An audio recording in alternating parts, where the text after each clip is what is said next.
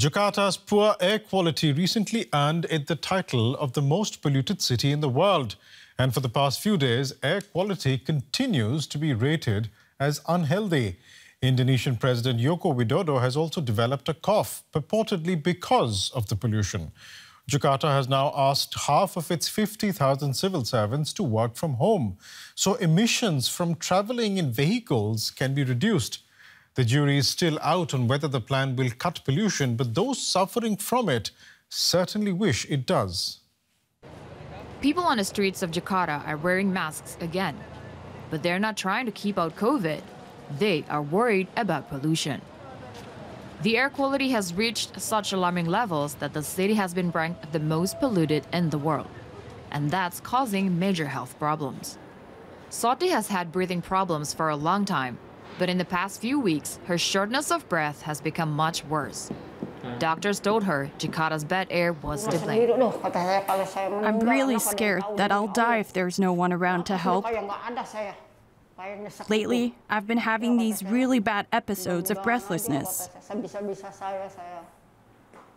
It's really painful. Often I have to handle it by myself because I can't make it to the hospital. The 57 year old is one of many people suffering from respiratory infections in the Indonesian capital. Over half a million new cases have been registered in Jakarta this year alone.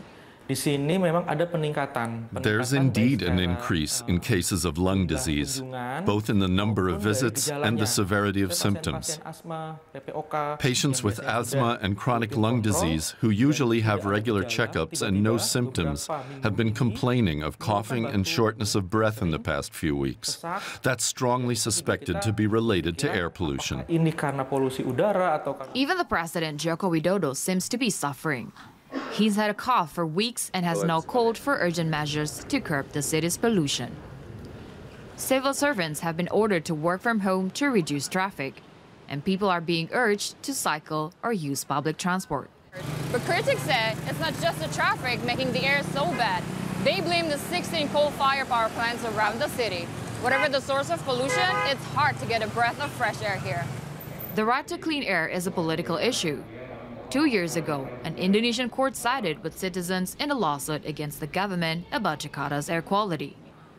Among the plaintiffs is Indonesian Forum for the Environment, an NGO that has long campaigned against air pollution in the capital. From 2030 to 2050, Jakarta will experience a significant spike in energy demand. Unfortunately, so far, there are no viable alternatives to meet Jakarta's energy needs. So coal-fired power plants will continue to play a major role in meeting household and industrial energy needs. Moving the capital to the island of Borneo, the president says, is one of the solutions. But they may not be enough for the people left behind.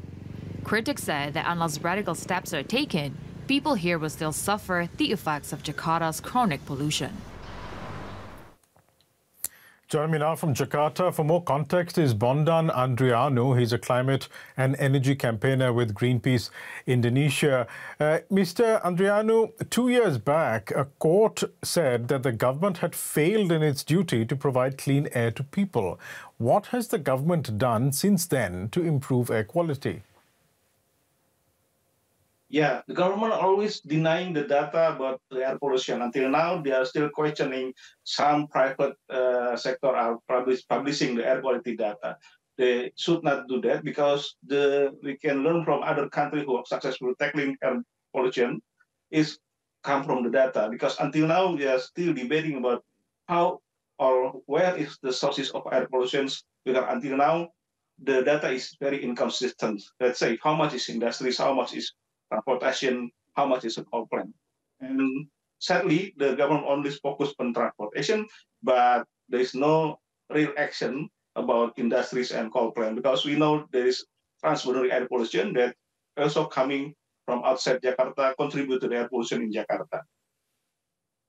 The government basically wants to reduce vehicular emissions by asking some, say, 50% of civil servants to work from home. But uh, since you work in the field, can you tell us if vehicular emissions are the main reason for air pollution in Jakarta?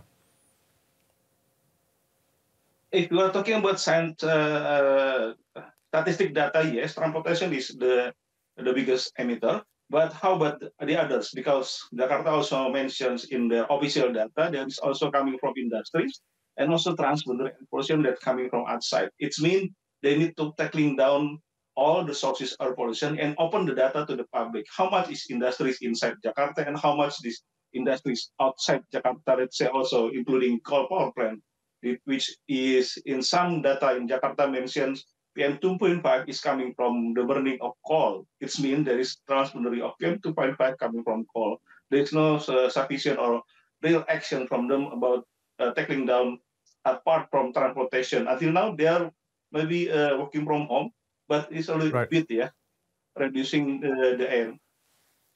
So, so why isn't the government being transparent about all the sources of air pollution in Jakarta? Because they don't have the data. Because until now, they're still gathering many scientists to make another research. This is why we sue the government in 2019, and the government in 2023, uh, this is President and Ministry of Environment and Forestry, they are doing another cassation. It means they're still denying what the judges said. So basically, what the president and ministry did now is very contradictory with the cassation that they take in the uh, citizen lawsuit that judges have already the verdict to commend the president and the ministry on and all the dependent to tackling down the air pollution. You, from what you are saying, it, it sounds like the government is dragging its feet in the matter, particularly because it is countering uh, the court as well uh, uh, when it comes to this judgment on air pollution.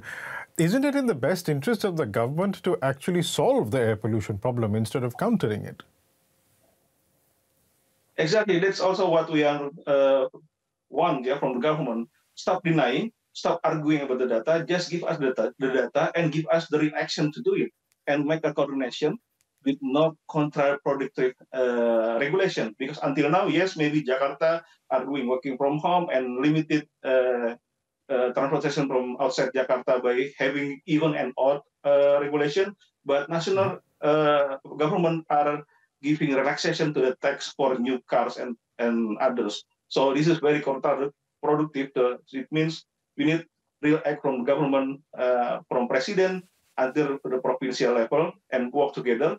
And then gather also the urgency of air pollution because until now, right. the Minister of Health mentioned like 600,000 of Jakarta are suffering for uh, respiratory illness.